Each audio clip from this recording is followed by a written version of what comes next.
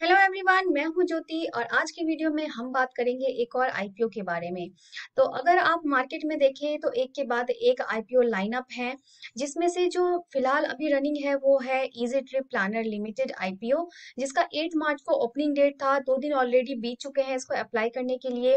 तो अगर अभी तक भी आपने इसके लिए अप्लाई नहीं किया है और आप सोच रहे हैं कि क्या आपको इसके लिए अप्लाई करना चाहिए कंपनी कैसी रहेगी लिस्टिंग गेन कंपनी देगी या फिर लॉन्ग टर्म के लिए रुकना चाहिए, इन सभी चीज़ों चीज़ों के बारे में हम वीडियो में डिटेल में बात करेंगे।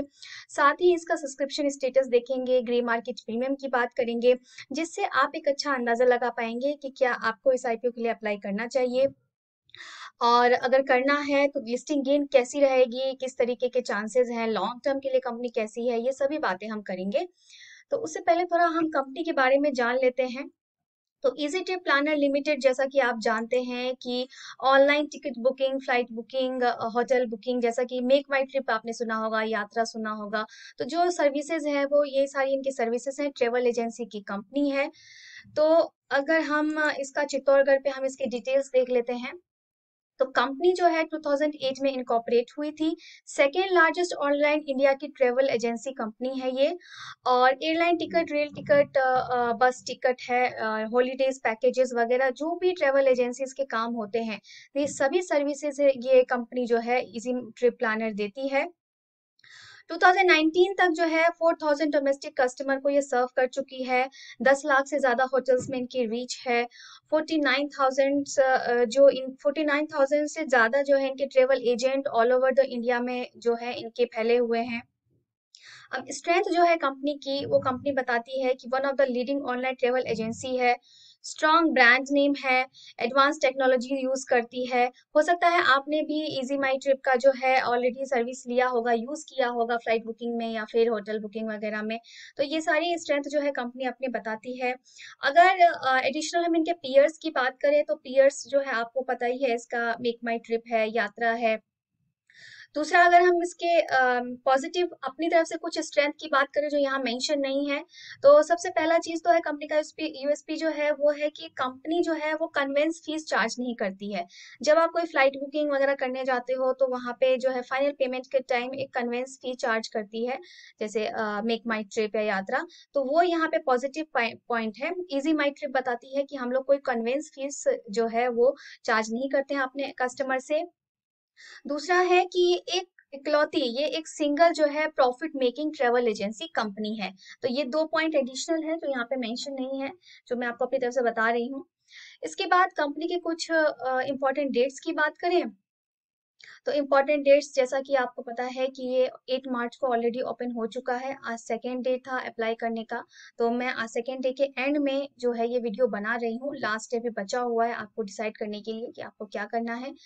क्लोजिंग डेट कल का है टेंथ मार्च आईपीओ का जो प्राइस बैंड है, वो है 186 टू 187 तो अगर आप अप्लाई करें तो जो इसका हायर कट ऑफ़ प्राइस है, उस पर ही अप्लाई करें। मार्केट जो इनका लॉट साइज़ है, वो 80 शेयर्स का है। मिनिमम 80 शेयर्स के लिए आप इसके लिए अप्लाई कर सकते हैं। इधर एक इंपॉर्टेंट बात है कि ये, ये जो है वो ऑफ़र फॉर सेल है। फ्रेश इशू नहीं है ऑफ़र फॉर सेल है। ऑफ़र फॉर सेल का मतलब जो अर्ली इन्वेस्टर जो इसके प्रोमोटर्स हैं कंपनी के वो अपने जो दो प्रोमोटर्स हैं इसमें वो अपने जो शेयर्स हैं वो इसमें बेच के जा रहे हैं। तो ऑफ़र फॉर सेल है। दूसरा कंपनी का जो ऑब्जेक्टिव क्या है? कंपनी लिस्ट क्यों बढ़ाना चाहती है? तो कंपनी अपने लिस्टिंग बेनिफिट उठाना चाहती है और अपने कुछ शेयर्स जो है वो पब्लिक में लाना चाहती है। तो ये कंपनी का ऑब्जेक्टिव है। इसके बाद कुछ डेट्स इंपॉर्टेंट डेट्स और हैं तो ओपनिंग डेट क्लोजिंग डेट की हमने अभी बात की। अब basis of allotment sixteen March को है। तो 16 मार्च को इसका जो रिज़ल्ट आउट हो जाएगा कि अगर आप अप्लाई करते हैं तो आपको ये मिला या नहीं आईपीओ फिर अगर आपको नहीं मिलता है तो आपको 17 मार्च को इनिशिएशन ऑफ़ रिफंड हो जाएगा। और credit of shares to demat account जो है, आपका, अगर आपको मिल जाता है तो आपको 18 मार्च को जो है आपके डीमेट अकाउंट में ये शेयर्स हो जाएँगे और 19 मार्च को कंपनी जो है वो एनएससी बीएससी पे लिस्ट हो जाएगी। उसके बाद जैसा हमने बोला कि मिनिमम लॉट साइज़ 80 शेयर्स का है तो अगर आपको मिनिमम uh, 80 शेयर्स के लिए ही आपको इसमें बाई कर सकते हैं और मैक्सिमम जो है 1040 शेयर्स के लिए मतलब 13 लॉट्स के लिए आप अप्लाई कर सकते हैं जो रिटेल कैटेगरी में टू लैख से कम का अमाउंट होता है। तो ये उसकी कुछ हमने देख ली डिटेल्स देख ली। अब हम बात करते हैं इसके सब्सक्रिप्शन की। सेकेंड डे में जो है इसका सब्सक्रिप्शन किस तरीके का देखा गया है जिससे हम आगे देखते हैं कि थर्ड डे में हमें क्या करना चाहिए। अब सब्सक्रिप्शन की बात करें तो फ़र्स्ट डे में आप देख रहे हैं टू टाइम्स टोटल जो है वो टू टाइम्स से ज़्यादा सब्सक्राइब हुआ था। और आज बात करते हैं तो सेवन टाइम्स से ज़्यादा जो है सेवन टाइम्स से ज़्यादा सब्सक्राइब हो चुका है, जिसमें सबसे ज़्यादा रिटेल कैटेगरी का पार्टिसिपेशन दिख रहा है।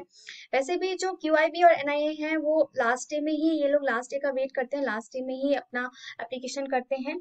तो उसमें भी आप देख सकते हैं एनआईआई जो है वो आज उन्होंने फोर टाइम सब्सक्राइब किया है। तो सब्सक्रिप्शन बहुत अच्छा देखा गया है।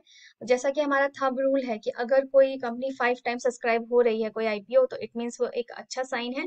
तो यहाँ पे हम ऑलरेडी देख रहे हैं सेकेंड डे में ही सेवन टाइम्स से ज़्यादा हो चुका है सब्सक्रिप्शन तो ये मैंने आपको यहाँ पे सब्सक्रिप्शन दिखा दिया।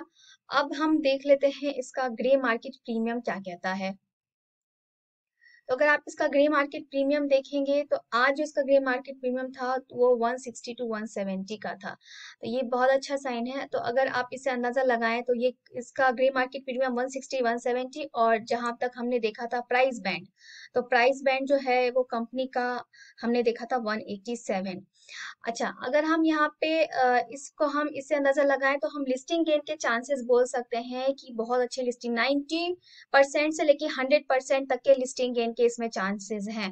तो बहुत ही अच्छा आईपीओ है, आपको इसके लिए मेरी तरफ़ से मैं बोलूँगी कि ज़रूर अप्लाई करना चाहिए।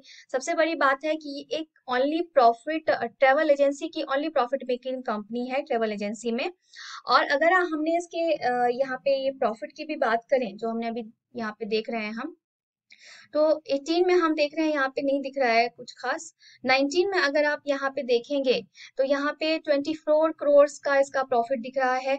20 में अगर आप देखेंगे तो यहाँ पे देखिए कंसिस्टेंटली बढ़ रहा है प्रॉफिट 34 करोड़ का आप देख पा रहे हैं और उसके बाद यहाँ पे आप देखेंगे देखिए, ये दिसंबर तक का ही डेटा है मीन्स आप, ये नाइन मंथ का डेटा है।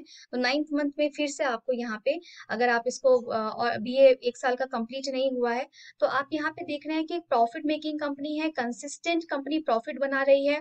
तो पहला तो जैसा मैंने आपको बोला कि ये कंसिस्टेंट प्रॉफिट मेकिंग कंपनी है और उसके बाद फिर ये ट्रेवल एजेंसी में प्रॉफिट कर रही है। कंपनी में स्कोप काफ़ी है और जिस जोन की ये कंपनी है, उसमें काफ़ी स्कोप है। कंपनी काफ़ी सारा इनका जो सर्विसेज़ है, वो काफ़ी फ़ील्ड में डाइवर्सिफाई है।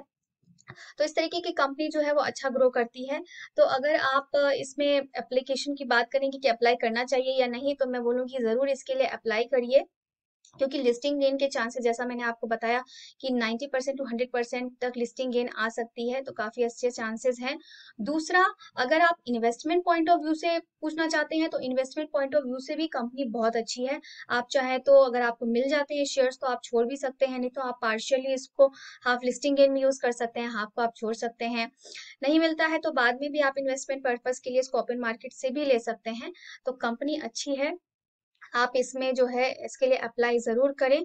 तो कल जो है, जब ये लास्ट डे है, इसको ओपन हो जाएगा तो आप इसके लिए अप्लाई कर सकते हैं। और 16 मार्च को जो है, इसका जो है अलॉटमेंट का स्टेटस आ जाएगा कि आपको मिलता है या नहीं।